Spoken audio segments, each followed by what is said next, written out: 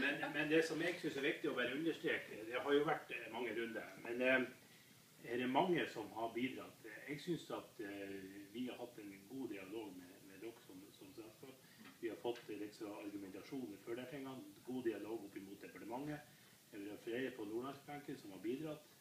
Ingen skal glemmes. Og ikke minst dere som er med fra Arbeiderpartiet i dag, og dere andre også. Men også Sonja Steen som fylkesordfører har også hatt hånda på rattet på denne saken.